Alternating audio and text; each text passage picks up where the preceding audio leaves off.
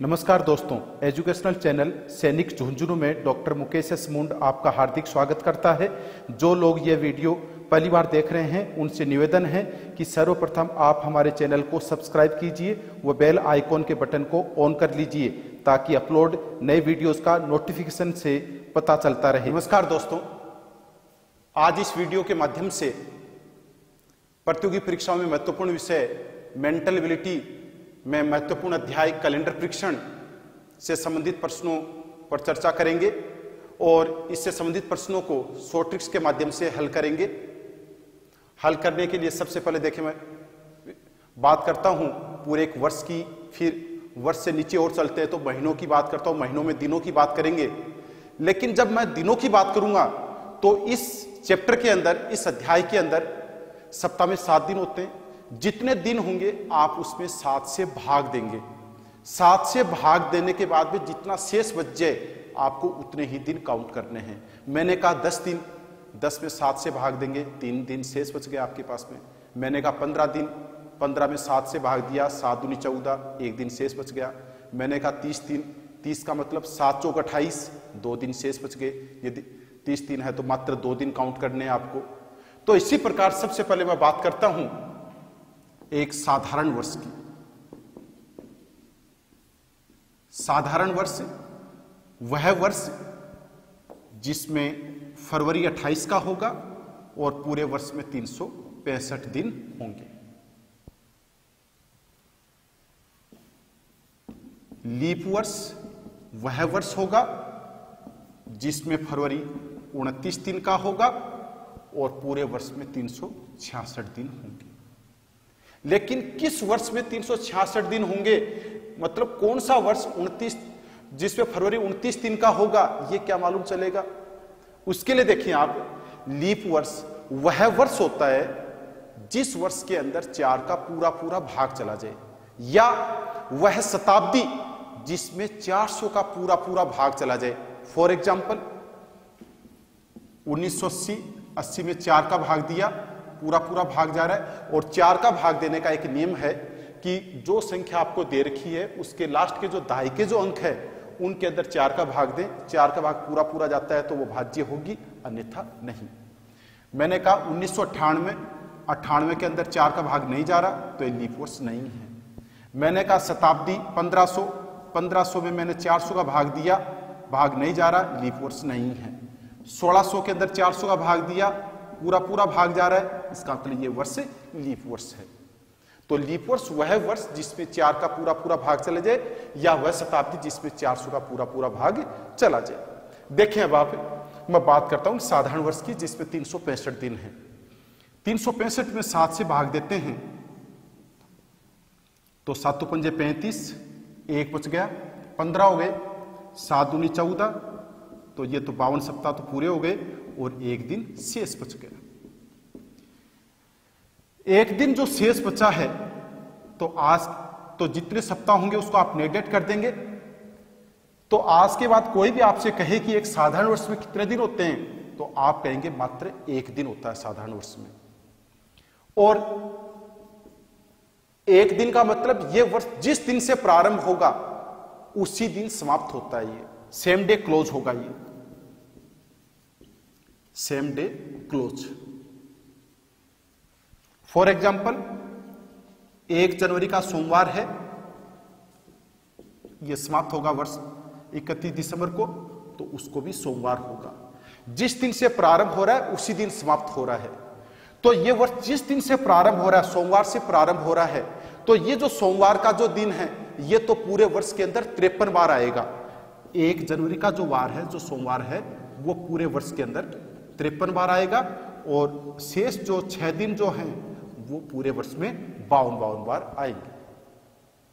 बात करता हूँ मैं लीप वर्ष में तीन दिन, या वह वर्ष जिसमें फरवरी में उनतीस दिन है, हर आने वाला चौथा साल, हर आने वाली चार साल। कितने दिन की होगी देखें आप? तीन सौ छियासठ में सात से भाग दिया, सातों पंजे पैंतीस, एक बच गया, सोलह हो गए। सात उन्नी चौदह, दो दिन शेष। तो बावन सप्ताह और दो दिन।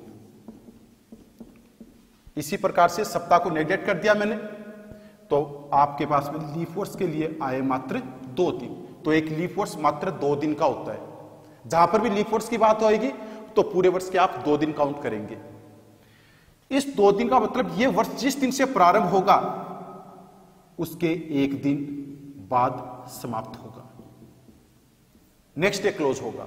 फॉर एग्ज़ाम्पल मैंने कहा, एक जनवरी का सोमवार है, समाप्त होगा इकतीस दिसंबर को तो उसको होगा मंगलवार। तो जिस दिन से प्रारंभ हो रहा है, उसके अगले दिन समाप्त हो रहा है। सोमवार से प्रारंभ हो रहा है, मंगलवार को समाप्त हो रहा है। तो सोमवार और मंगलवार, ये जो दो दिन हैं, एक और दो जनवरी के जो वार होंगे, वो तो पूरे वर्ष के अंदर तिरपन बार आएँगे और बाकी के जो पाँच वार जो बच गए, वो यहाँ पर बावन बावन बार आएँगे। ये मैंने वर्षों की बात की, वर्ष से नीचे और चलेंगे तो महीनों की बात करूँगा और महीनों के अंदर भी उनके दिनों की बात करेंगे। महीने में 28 दिन, माह फरवरी होगा, वर्ष साधारण होगा। उनतीस दिन का भी महीना होता है, महीना वही फरवरी होगा, लेकिन वर्ष लीप वर्ष होगा। तीस दिन की बात करूँगा तो पूरे वर्ष के अंदर चार महीने हैं, जो तीस दिन के होते हैं, वो माह होंगे अप्रैल, जून, सितंबर और नवंबर। फिर बात करूँगा मैं इकतीस दिनों की। तो इकतीस दिन वाले पूरे वर्ष के अंदर कितने महीने हैं? सात महीने हैं। सात महीने कौन कौन से हैं? जनवरी, मार्च, मई, जुलाई, अगस्त, अक्टूबर और दिसंबर। ये सात महीने हैं जिनमें इकतीस है। चार महीने हैं, जिनमें तीस दिन है।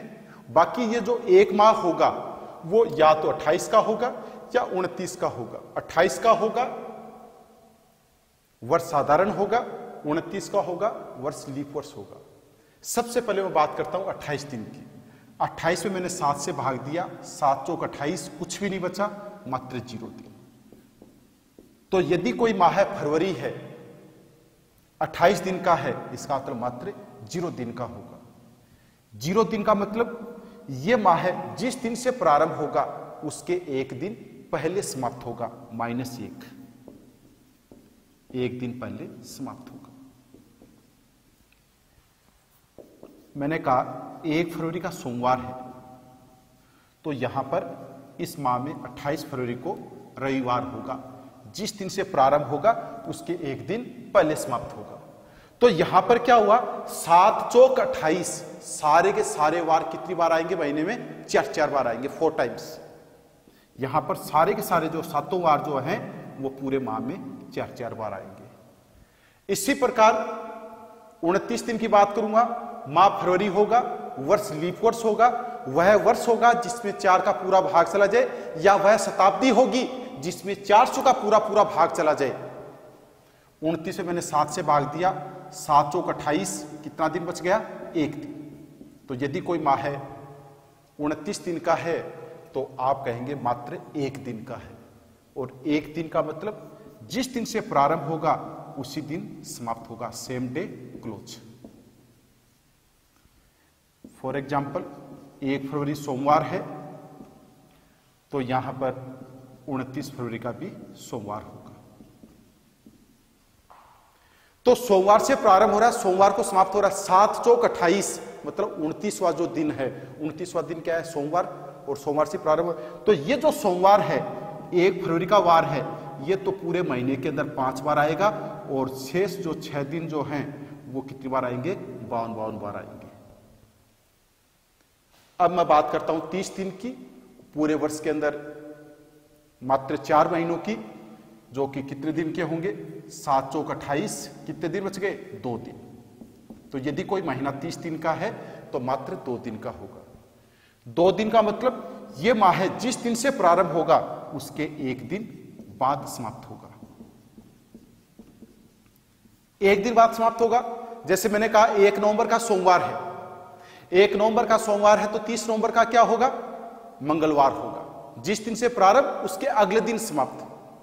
मैंने कहा, एक अप्रैल का शुक्रवार है, तीस अप्रैल का क्या होगा? शनिवार। तो यहाँ पर क्या होगा? जिस दिन से प्रारंभ हो रहा, उसके अगले दिन समाप्त हो रहा है। सोमवार से प्रारंभ हो रहा तो मंगलवार को समाप्त हो रहा है। तो यहाँ पर एक और दो तारीख के जो वार होंगे, ये तो माह के अंदर पाँच बार आएँगे, और बाकी के जो वार है यहाँ पर इस माह के अंदर चार चार बार आएँगे।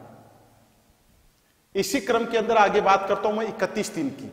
मैंने बताया, इकतीस दिन पूरे वर्ष में कितने माह होंगे, सात माह है। सात माह कौन से होंगे? जनवरी, मार्च, मई, जुलाई, अगस्त, अक्टूबर व दिसंबर। ये जो सात माह हैं, इकतीस में मैंने सात से भाग दिया, सात सौ अट्ठाईस, ये सात माह कितने दिन के हैं मात्र? मात्र तीन दिन के हैं ये। तीन दिन का मतलब ये माह जिस दिन से प्रारंभ होंगे, उसके दो दिन बाद समाप्त होंगे। मैंने कहा एक जनवरी का सोमवार है। तो 31 जनवरी का क्या होगा? जनवरी 31 का तीन दिन का होगा। जिस दिन से प्रारंभ होगा, दो दिन बाद समाप्त होगा। सोमवार से प्रारंभ हो रहा है तो मंगल, बुध। बुधवार को समाप्त होगा वो। सोमवार से स्टार्ट होकर के बुधवार को समाप्त हो रहा है, इसका मतलब सोम, मंगल और बुध, ये जो तीन दिन हैं, फ़र्स्ट थ्री डेज़, एक, दो और तीन तारीख के ये तो पूरे माह के अंदर पाँच बार आएँगे और बाकी के वार यहाँ पर कितनी बार आएँगे? चार चार बार आएँगे। ये मैंने बात की, इनके महीनों की बात की, मैंने पूरे वर्ष की बात कर ली, सारे महीनों की बात कर ली। अब मैं आगे इनके सारे महीनों की, पूरे एक वर्ष की, जिसमें एक साधारण वर्ष भी होगा, एक लीप वर्ष भी होगा, और सारे के सारे महीनों के अंदर जो दिन हैं, उनकी सबकी बात करता हूँ मैं, सर्वप्रथम बात करता हूँ मैं एक साधारण वर्ष की।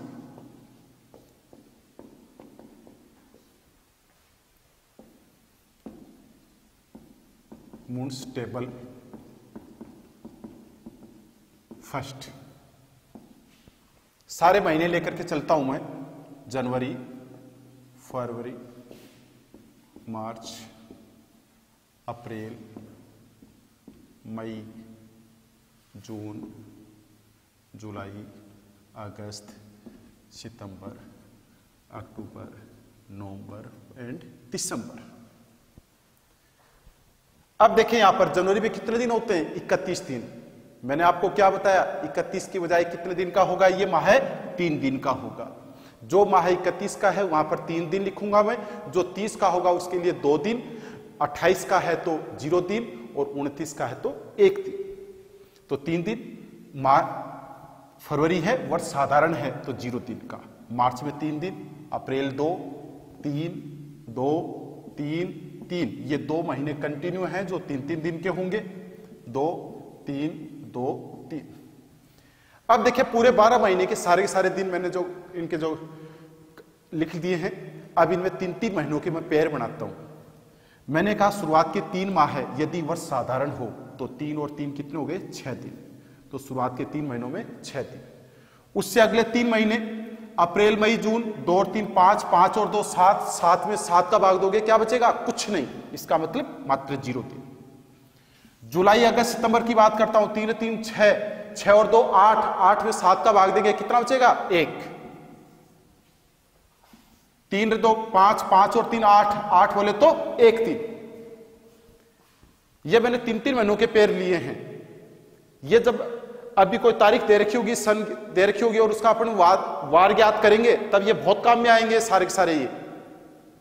अब देखिए मैं शुरुआत के छह महीनों की बात करता हूँ। शुरुआत के छह महीने देखिए आप जनवरी से लेकर के जून तक।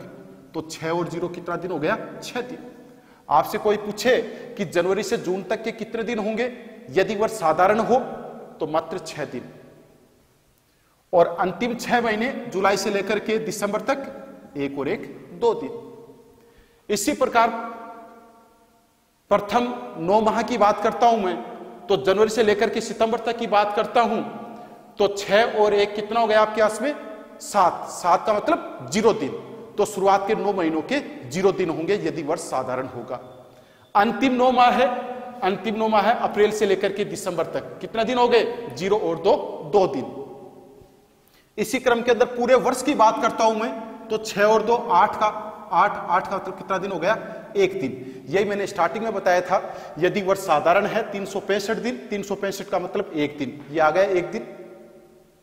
एक दिन का मतलब ये जिस दिन से प्रारंभ होगा, उसी दिन समाप्त होगा। सेम डे क्लोज होगा ये वर्ष।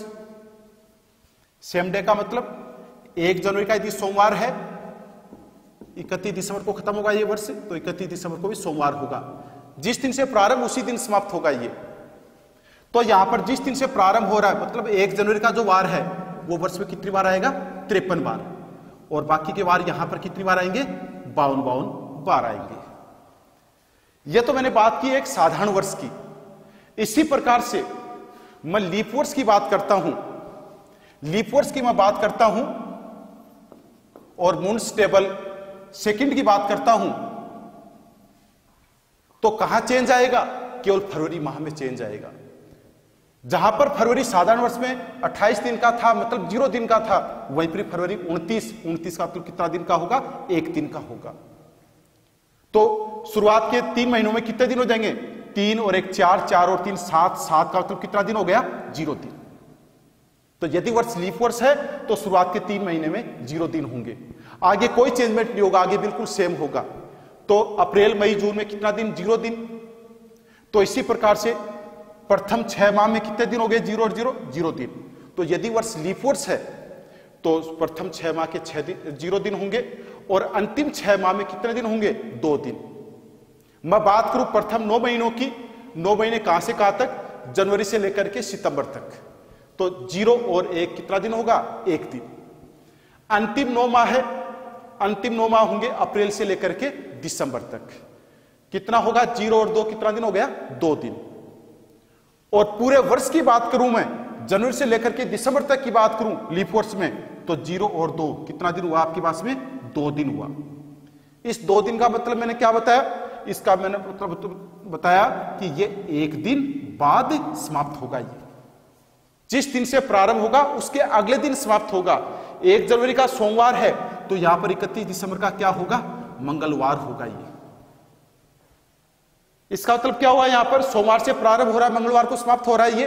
तो यहाँ पर सोमवार और मंगलवार या एक और दो जनवरी के वार हैं, वो तो पूरे वर्ष में तिरपन बार आएँगे और बाकी के जो वार है, वो कितनी बार आएँगे? बावन बावन बार आएँगे। इसी क्रम के अंदर देखिए आप आगे, यहाँ पर जो आपको जब कैलकुलेशन अपन करेंगे तो बहुत काम में आएगा।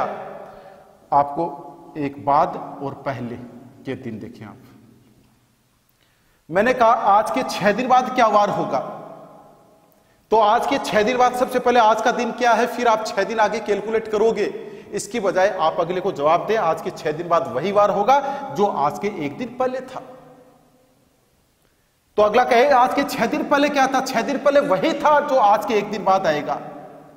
तो पाँच दिन बाद क्या होगा? वही होगा, पाँच दिन बाद जो दो दिन पहले था।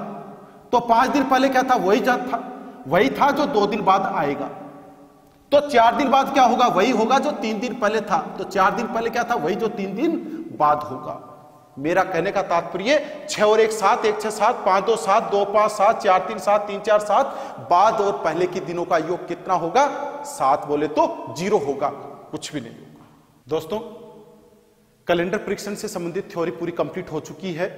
इससे संबंधित जो भी प्रश्न होंगे, जिस इस प्रकार के सभी प्रतियोगी परीक्षा प्रश्न पूछे जाते हैं उनके कई सारे एग्जाम्पल्स में लेता हूँ और उन एग्जाम्पल्स को लेने से पहले आपने यदि इस चैनल को सैनिक झुंझुनू को सब्सक्राइब नहीं किया है तो आप अवश्य कर लें और बेल आइकॉन को भी आप ऑन कर लें ताकि जो भी वीडियो मैं अपलोड करूँ, वो आप तक पहुँच सके।